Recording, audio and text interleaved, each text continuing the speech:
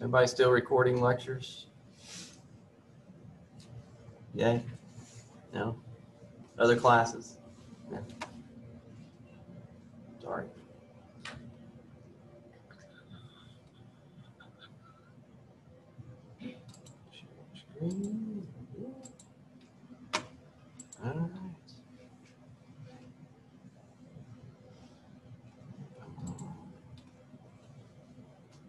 Computer's acting weird. There we go. All right, parasitology, number three. So we have a uh, big handout. Hopefully it's a lot of pictures, right? Don't you like a lot of pictures in the the handouts? So uh, definitely worth going in and looking at it uh, in color.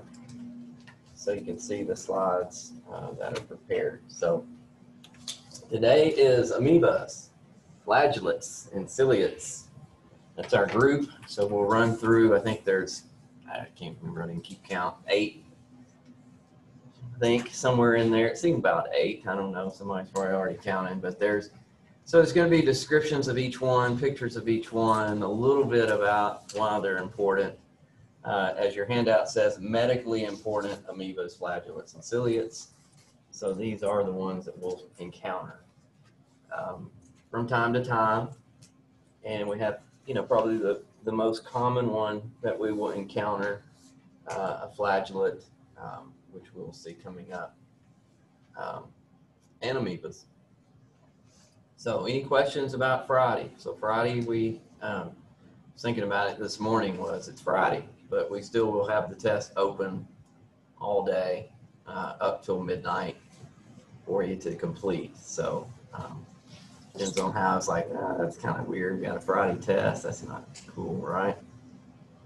But if you'll get on it and get it done, you can have your Friday night, you know, don't wait around until midnight to take a Friday night exam. We'll see. We'll see what the trend is this Friday.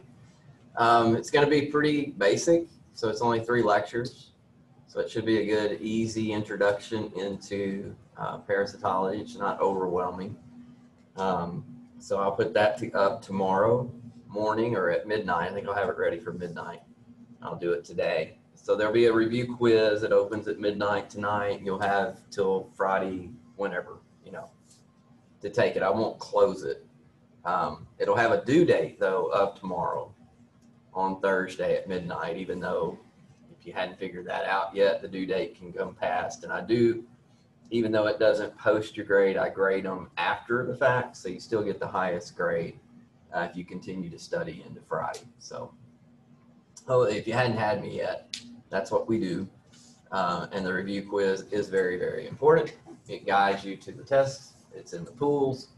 Uh, you can go over that pool questions over and over. I don't know how big the pool is going to be this time. It may not be very big. Um, but if I can get to 50, I'll get to 50.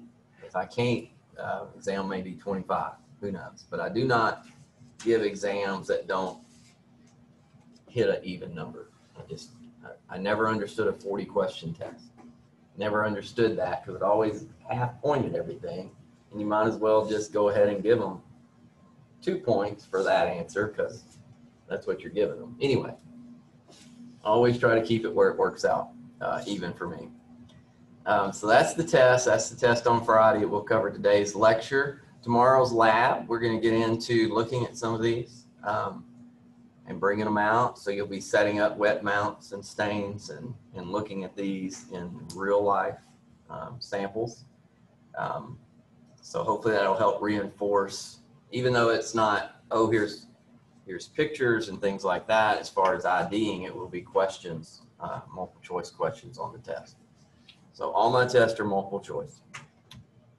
Let's get started. We have uh, E. coli, and if you were in micro last semester, this is not Escherichia coli. Okay, so not to confuse you, but sometimes you will see E. coli in a different way, and that way is with Entamoeba coli. Okay, so this is a parasite. It's not a bacteria. Uh, it's not part of the normal flora of the gut. Okay, so Entamoeba coli is the first one we want to get clear on. So of course we want to abbreviate it right off the bat, just to throw the confusion through the room that E. coli is a non-pathogen which closely resembles the one we talked about. Um, yes, uh, when we have lecture, right? Um, Entame- uh, ent- Entamoeba histolytica, right? So there's still the amoeba family that we're working our way through. So here's the big trophozoite. It only has one nucleus. It's mononucleated. Peripheral chromatin, remember inside that nucleus is where we are. So on the outer peripheral is the chromatin. It's irregular in size, distribution, and more abundant. The karyosome in the middle, remember that's that center point, you know, pinpoint look to the nucleus. This one's large, irregular, and eccentric. So we don't know if it's going to be right in the middle. We don't know if it's going to be all over. The cytoplasm outside the nucleus and in the trophozoite is coarsely granule, numerous vacuoles, no differentiation into the ectoplasma or the endoplasm. Inclusions, again, key, key, key to remember is that it's no red blood cells unless you're where? Which one has red blood cell inclusion? Which amoeba? Histolytica, thank you, playing along.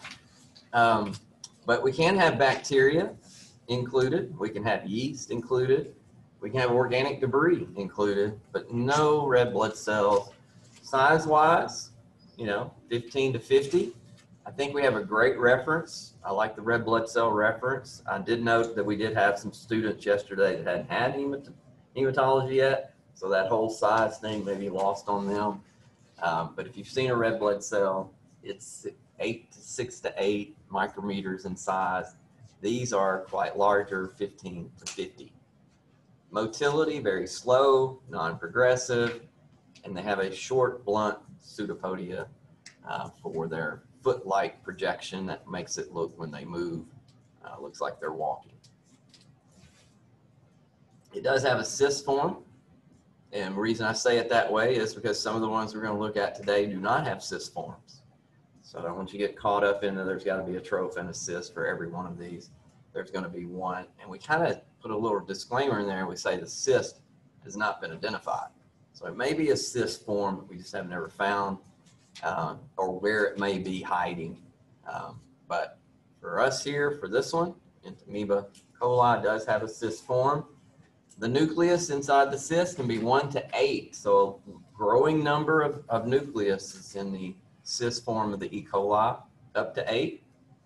Uh, the characteristics is like that of the troph. Uh, the cytoplasm is granular.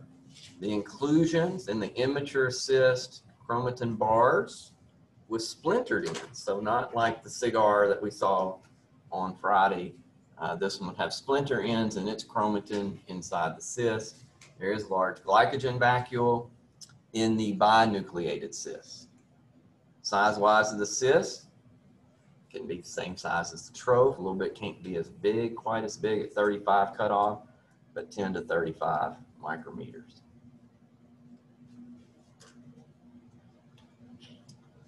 So we've seen this already. Uh, the Entamoeba coli nuclei. You're seeing, you know, the different ideas of this chromatin, irregular shape, the karyosome here, you know, eccentric, meaning not in the center always, off center. Um, so it can have various, various variations to it. Here is the comparisons of the trophs and the cyst. Again, you know, this is this is how we do it, right? One, two, three, four, five, six, seven, eight. Eight nuclei, that's got to be a cyst, right? Up to eight, but it can be four, or it can be eight again, right? Um, little, this is uh, maturing cyst, and these are trophs up here where we get the the remnants, as you can see. It looks like remnants of something up there. That's remnants of the nuclei from previous, but once we get into the the, the ones by themselves, you're into the troph, that irregular shaped outer edge. So these are drawings, of course, and then of course we have pictures. Sister troph. Troph. How so?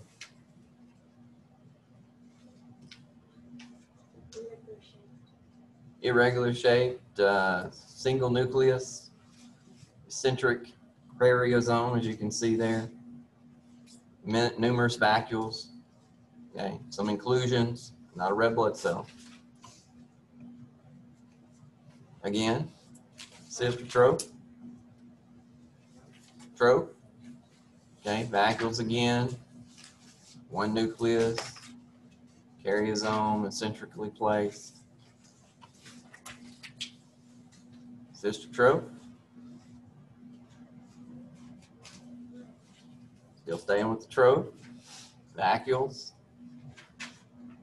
Irregular shaped karyosome eccentrically placed. Again. What we got? Vacuoles again. One nuclei. Outer edge is getting out of shape. But here, cyst, maturing cyst. It's kind of got a. Uh, I always look at this as a insect look to it. Is anybody in following along in the textbook? Maybe are you? No, I don't know where we're at. Oh, that's where I was seeing if you were on it. So I've got pages five ninety to seven fifty-six. My last one here was on page six twenty-seven. I want to say we're just- we're still in the same section. with the Intestinal protozoans. There we go. I think we're over. There's this. Anybody at home playing along? Entamoeba coli. I've got four, I've got six forty-two, sorry.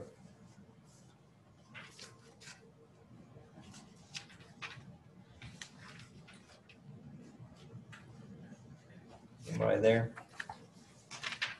Okay. Um, this, you know, to me, I don't know, if you've ever been stung by a wasp coming straight at you, it kind of looks that way, like a wasp is heading straight to me. I don't know if you've ever seen the eyes of a wasp before it got to you. That's kind of what they look like. They're coming at you. Kind of looks have an insect look to it to me. So what is this in the middle? Glycogen, right? What did it say when we had the description? You remember? How did it describe the glycogen? Go back and find it. Da, da, da, cyst. Inclusions, immature chromatin large glycogen vacuole in the binucleated cyst. So that's how we, we described it. Now we have a picture of it. This is that large glycogen. Everybody see? I think you can see. It move over here. Large glycogen vacuole binucleated cyst. Okay. E. coli. Again, another look. Cystotroph. Cyst, how many nuclei do we have? Can we count? No, I see at least two each time. One, two, maybe three, one, two, maybe three, maybe four in there. Granular, you see the granular, granulization inside that cyst? Hopefully you can.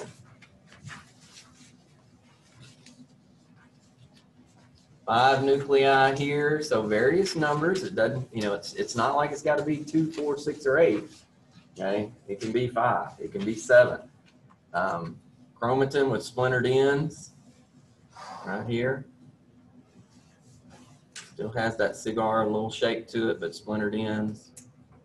So cysts. All right. So that was E. coli. Our next amoeba is Entamoeba hartmanni.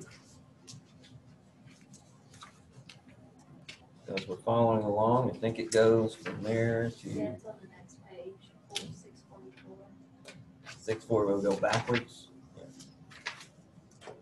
Yeah, it's at the bottom. Oh, it's at the bottom, switches over. There it is, Hartmanni, six forty-four. So very, what, if, if you would say, well, how would you describe this book so far? Very limited on the descriptions of each one of these, so you're not gonna like, oh, I got fifteen pages to read about these. It's pretty quick. Um, so it's very easy to go through these chapters and get a quick review on these. Entamoeba hartmanni morphologically identical to dispar, as the camera catches up with me, except for the size. Okay. So Entamoeba hartmanni, what was the size of dispar? You remember?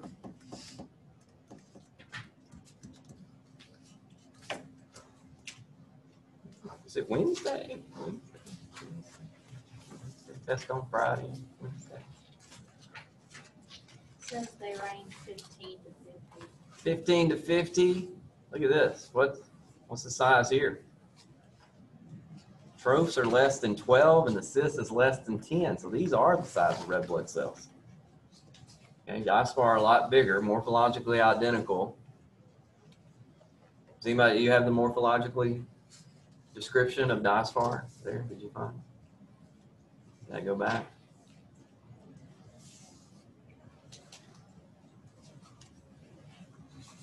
It says the motility is sluggish with broad, short pseudopods.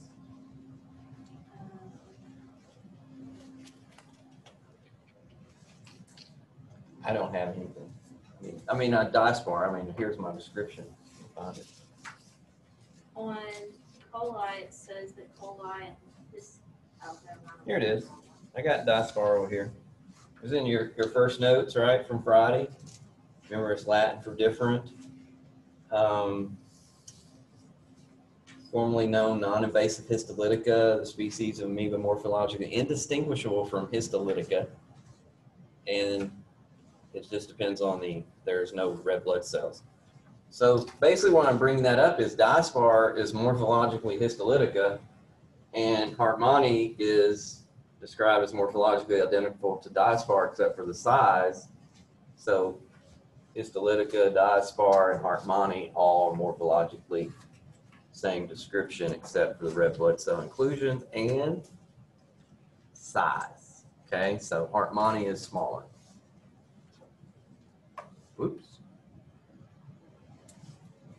There we go. That's it. That's where we are. All right, Endolimax Nana. Love the name, right? Everybody has Nana? Maybe. Anybody have a Nana? Yeah, good. All right, so you shouldn't forget this one. Trophozoite. Mononucleated. Sanderson says she has a Nana too. Uh, the mononucleate, that means one nucleus in the troph. We're in the trophozoite, single nucleus, no peripheral chromatin a thin, delicate nuclear membrane. Karyosome is large and irregular shaped. Cytoplasm, numerous vacuoles, kind of sounds like what we had kind of before. Inclusions, bacteria, yeast, organic debris. Again, who are we missing? There we go. Size, again, smaller. Size range, the troph, only five to 12, even smaller than a red blood cell. If you want to look at it that way, average size is seven micrometers in size. So that is a troph. It's going to be very hard to not confuse that with who? Cyst, right? This kind of has that look. It's small, smaller. This is the troph of Endolimax nana. Very fragile nuclear membrane. The karyosome's a lot larger. See that? A lot bigger. The cyst, ovoid shaped nuclei, four pinpoint nuclei. Character like that of the troph, coarsely granular, chromatin granules very rare, and 5 to 12 in size. Again, we're in small, using the nana name, small. Doesn't nana mean small? I don't know.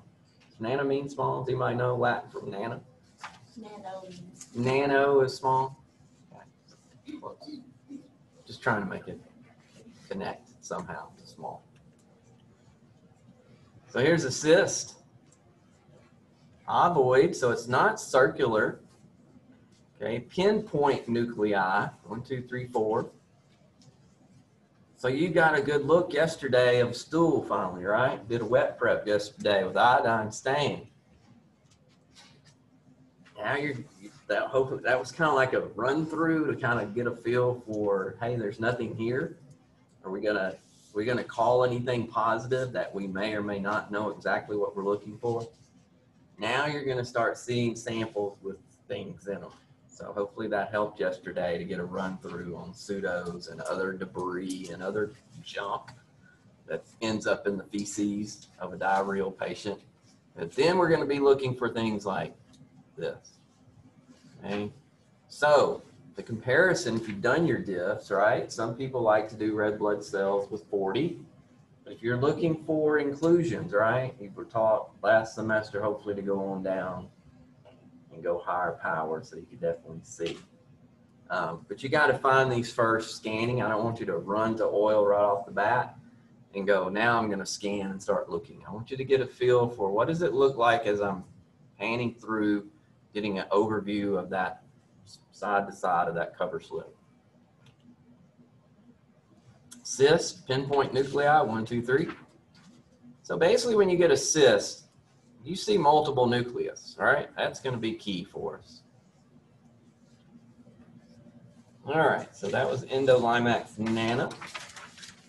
And we're moving over to Iodamoeba, sorry, butschlii.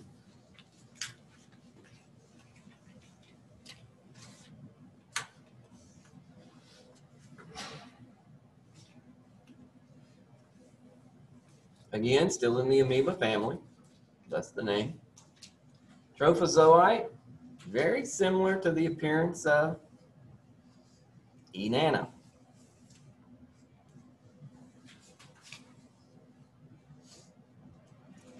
The nucleus, thin, delicate nuclear membrane, no peripheral chromatin. So you would think the peripheral chromatin is going to give you this fragile look. You know, the nuclear membrane's not as thick, not as strong. It doesn't look. Karyosome, large, irregular shape. So not pinpoint. Karyolymph space. Okay, small chromatin granules give it a dirty appearance. So inside the, the nucleus, karyolymph space is dirty in appearance. The cytoplasm outside the nucleus, numerous vacuoles, inclusions again, bacteria, yeast, organic debris. So hopefully you're getting the idea that these things are living, okay? They're, they're ingesting bacteria, yeast, and organic debris. Hope we hadn't missed that yet. Uh, size range, a little bigger, four to, could be bigger. I'll say four to 20 is a pretty big range when we're thinking six to eight for a red blood cell. Could definitely be smaller, could definitely be bigger. Average size, a little bit larger than a red blood cell. There he is. That's the troph. Large karyosome, thin nuclear membrane, granular karyolymph space, vacuoles out here.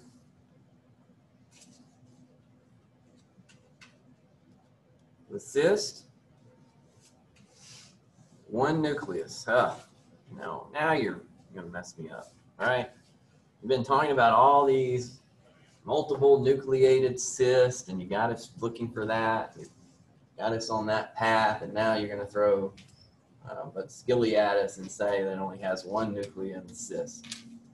Karyosome again is still a large, irregular shaped, but eccentric. Karyolymph space contains chromatin granules, but there is a saving grace to identifying the cyst of Iodamoeba, which is flower basket. Does everybody know a flower basket? Have you seen a flower basket? Right? Flower basket, round, has a big handle, right? Can you carry it? Everybody's seen a flower basket? Uh, some some people last year had not seen a flower basket. They, they were unaware what a flower basket was with flowers stuck in it. Okay. So we're not worried about the flowers per se, but we're worried about this look of a handle, okay, leading to a basket. We'll see that just briefly. Coarse granular, cytoplasmal, large glycogen vacuole in the cyst. So you see that large glycogen vacuole, that'll be our help. 9 to 12 and there we go. So I hope you can see the flower basket. Got to turn it on its side a little bit, hold the handle. Flowers are down here in the basket where the nuclei is, where that big karyosome is located. This is the glycogen vacuole that gives it the hand basket look. glycogen vacuole, grab the handle, flowers in the bottom of the basket. Okay, eccentric placed, karyosome, not right in the center. Got two down here. Again, beautiful. Got the trichrome stain. Glycogen vacuole, grab the basket handle, carry it off. Okay, so here's a side-by-side comparison of Entamoeba nana, right? Iota, uh, yeah, Entamoeba nana. Right, is that what the name? Everybody with me on E nana? No, it's not an Entamoeba. What is it?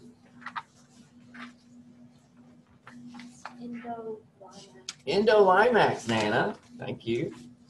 And then I, butschlii is what? Iodamoeba. Okay, so got it. Even though we're abbreviating those, it's so easy to get them mixed up with the other E's, the other I's. Are there other I's? But there's definitely other E's. So again, troph or cis, what do you think?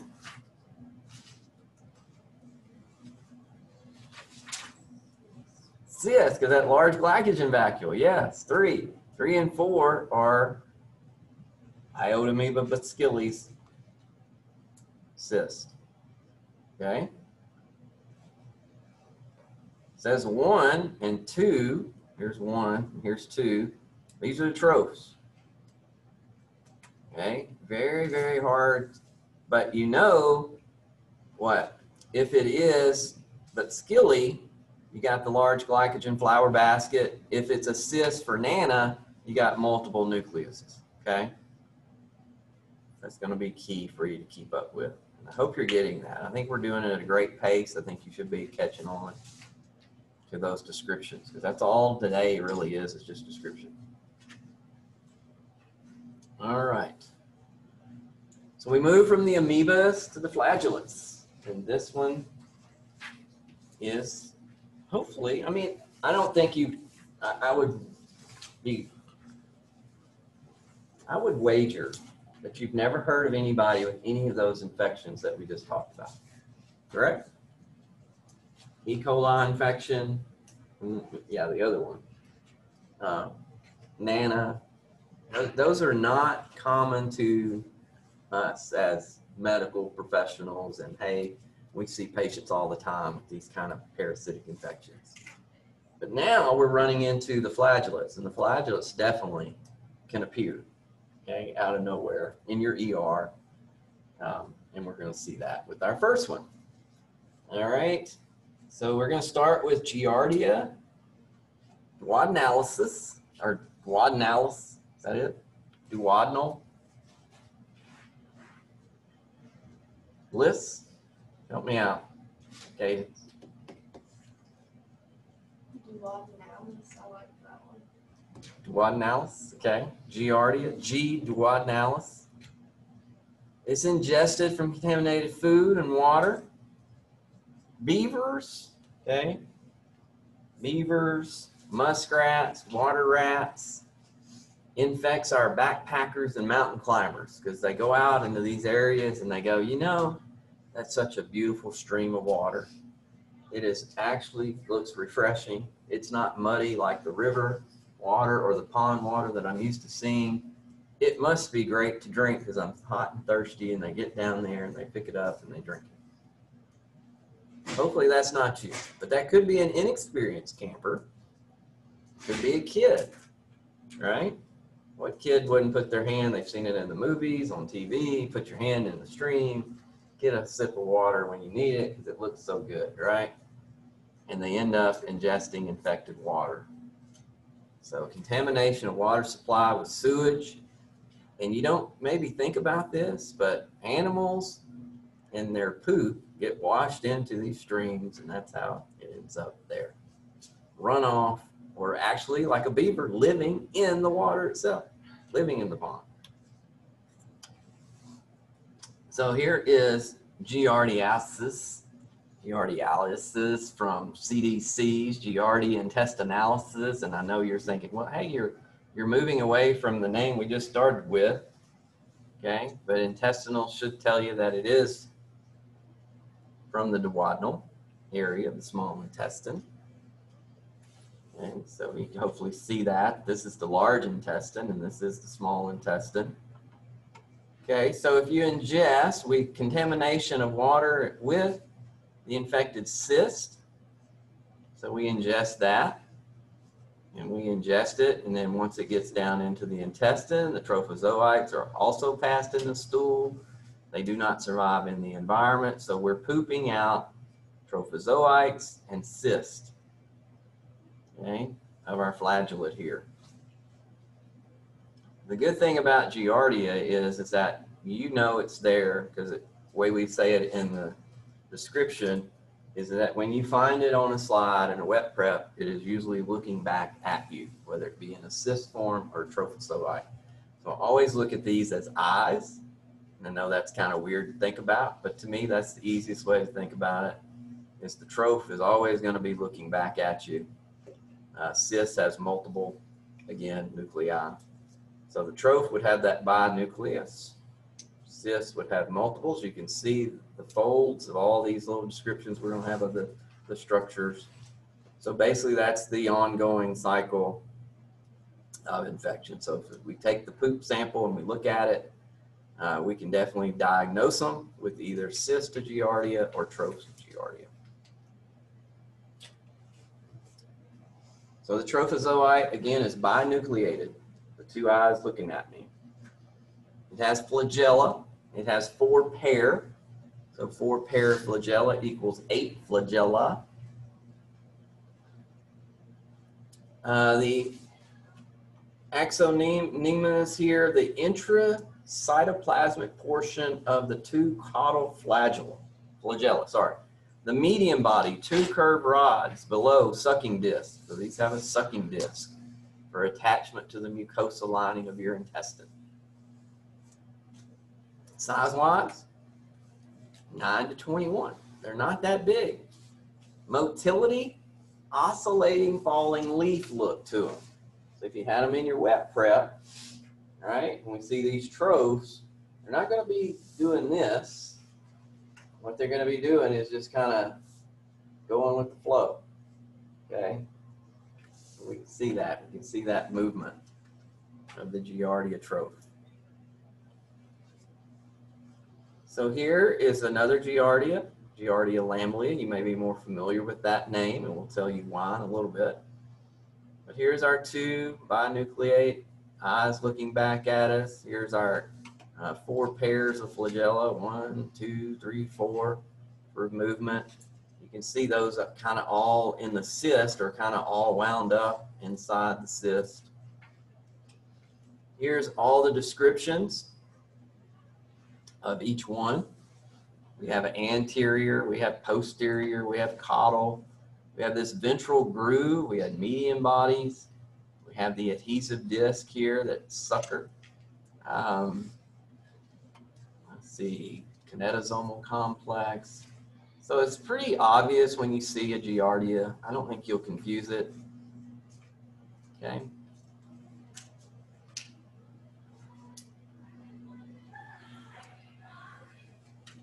I think that's high magnification there. Here's that sucker. Here's the eight flagella. Electron micron micrograph. Here's a whole family in your intestinal, attached to the intestinal wall. Here's a troph stain, trichrome stain, two.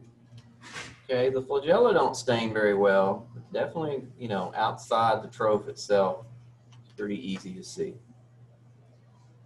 The cyst, one to four nuclei, cytoplasmic structures, the flagella, twice the number seen in the troph, so you have 16 flagella in the cyst. Four median bodies, uh, size 8 to 14 micrometers. So again, here are median bodies here, cyst wall, four nuclei,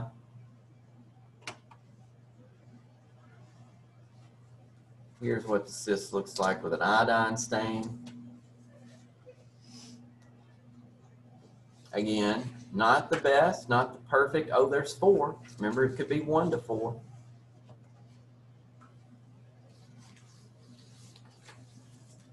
Two here. Is that a cyst or a troph? Right? Gets a little harder when it looks like that.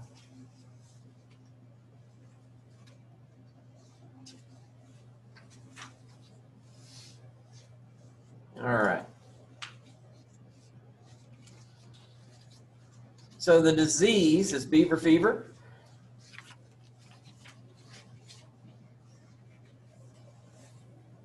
For duodenalis, duodenalis. Uh, small and large intestine, both in the area. We have this steatorrhea, which is a fatty diarrhea, foul smelling, of course.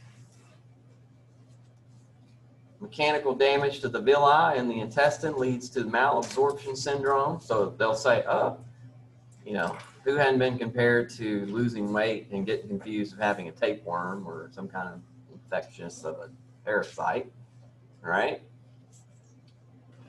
So malabsorption. So to diagnose, we're going to use stool. Uh, we can use a duodenal aspirate, direct wet mount, concentrate, trichrome stain, a permanent smear to diagnose it.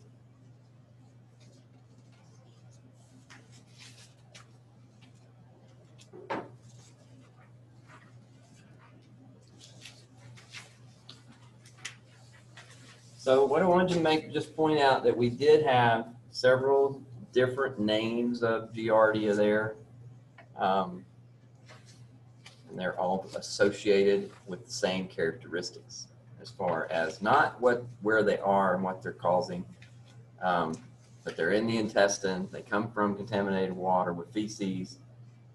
Uh, but there are different species of Giardia, and I think you saw three of those. You saw Lamblia, you saw duodenalis, and there was one more, wasn't there? One more Giardia in the description names and the labels. I don't think we have them all listed, but the book I'm thinking does. I see flagellates, I see analysis.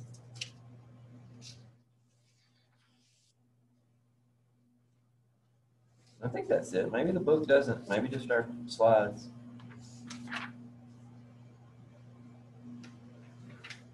Okay. Oh, it was the, on the CDC's thing of intestinalis or whatever it was. Remember? That's where that other one was. All right. Dientamoeba fragilis. Fragile being in that back end of that name, and we're going to see why it's named that. So it, it talks about this one. I think in my notes, it talks about how this was, I think it had a, a description change in this one wrong description here.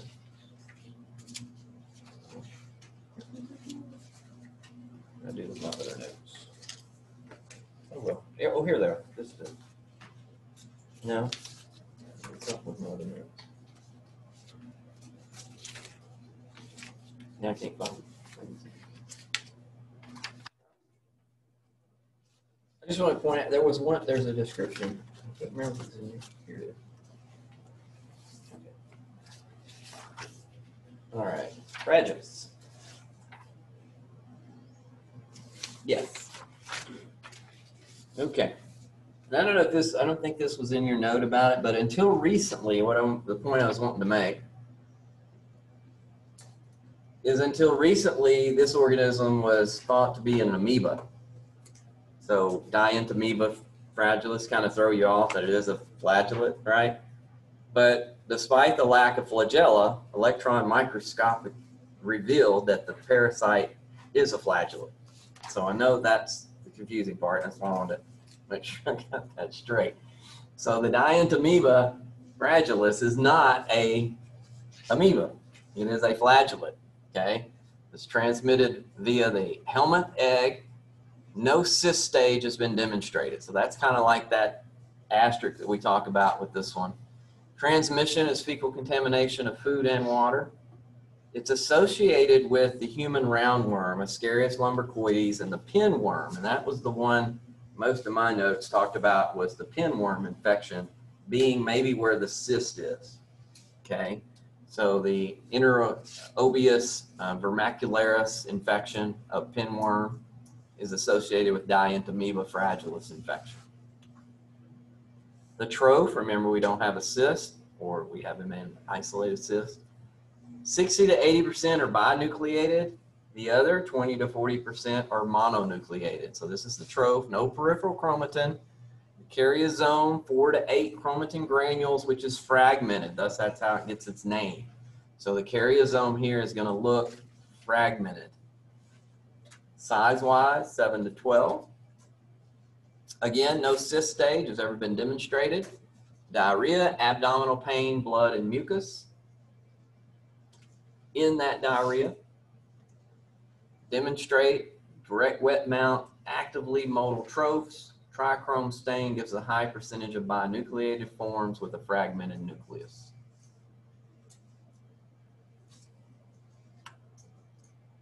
Dientamoeba fragilis, the mono here, the bi here. Remember, there's no cyst stage, so don't confuse this with ever with a cyst, a dientamoeba fragilis, fragilis. Fragmented karyosome. Okay. And then we go to another flagellate, and this is probably the most common one we will ever encounter with our Trichomonas vaginalis. Sexually transmitted infection from males to females. Males are usually the asymptomatic carrier that infect their sexual partner with Trichomonas vaginalis. Trophozoite, single nucleus located in the anterior end of the body. Four anteriorly located flagella. It has an axostyle, which is a sharp pointed slender rod which extends through the body and protrudes posteriorly. The costa is a short and extends halfway down the body. And it has an undulating membrane, the same length as the costa. So that's kind of the description of the structure. 5 to 15. So when we look at it under um, urinalysis, that's where I see them all the time.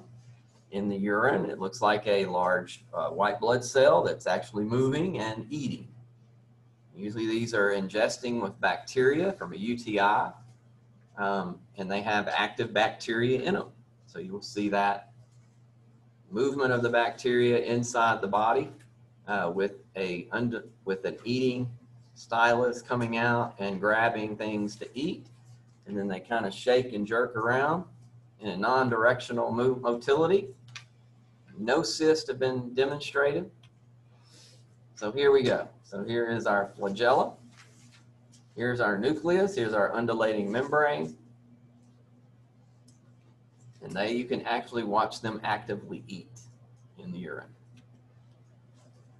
Again, our four anterior, our four anterior flagella here, our single nucleus, our costa that runs here with an undulating membrane that's attached to the costa, posterior axostyle here, comes down the end, and this trophozoite is very, very frequently encountered in our urines, in our ERs. I tried to keep some, most of the time I'll try to capture these once I find a urine with them and I always tried to bring them to class and I tried always to keep them.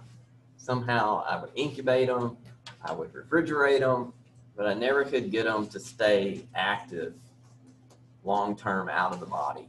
So as you say, you know, when we talk about the fragility of the troph outside the body, it's not, it's, it's true. Because I've tried over and over and over to keep this thing um, in a sample for us to look at under the microscope and see the activity. But unless I have a fresh urine, I can't keep the trophs going. So this is, um, here they are out here. And usually when you're looking at it under the scope, I know we're, we're running into our time, but we'll, we've, we've got time to finish. I think so. Uh, we have a few more, but this one's probably the most important. So give me like, y'all got, can you give me five minutes? Yay? Yay? Okay. I promise I won't take more. Um, but, but this is in the urine. And what you do is you see it and you're like, ah, did I just see something move? And then you go back and you go, yeah, I did see something move. So sometimes you got to be careful. Sometimes when the, the light, like if it's refrigerated urine, and you get the light of the microscope starts heating it up a little bit, and then it'll start moving a little bit more.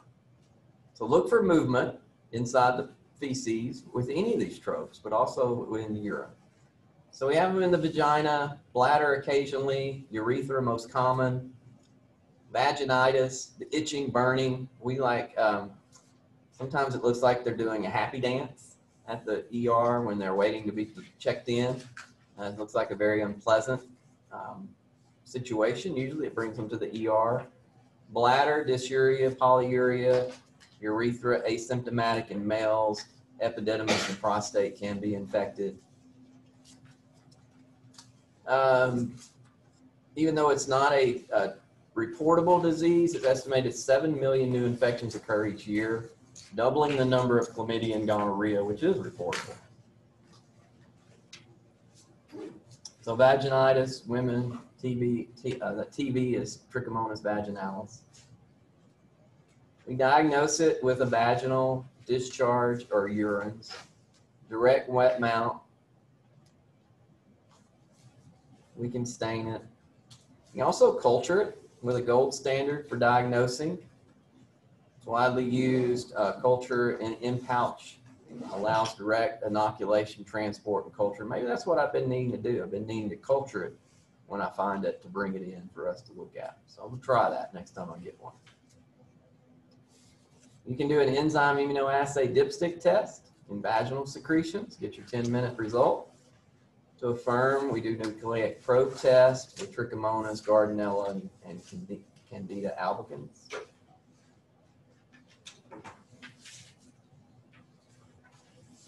All right, what I will do is I will pause here since we've run out. And um, we just had three more. We'll just say there's names. Pentatrichomonas hominis. It is a non-pathogen in the fecal contamination. So it looks like Trichomonas vaginalis and hominis. Got a comparison. We have Chilomastix mesnili, non-pathogen, fecal contamination. So these last three we're, we're hitting on just briefly. This one has a shepherd's crook. Okay, so that's why we wanted to say it here is because when we, we ID this one, we'll see it as a shepherd's hook. So this is the shepherd hook of Chilomastix mesnili coming in here. And we'll pick these back up when we start looking for them. Okay, well. And then we'll just say the ciliates for beginning of lab tomorrow. All right. So we don't have. No, no lecture on Friday. Test days, no lecture. I will see you tomorrow for lab, and then we'll come back and uh, have test on Friday, and I'll see you back in lab on Tuesday. So no class on Thursday, you are correct. So I'm gonna stop the share, say bye to Zoom.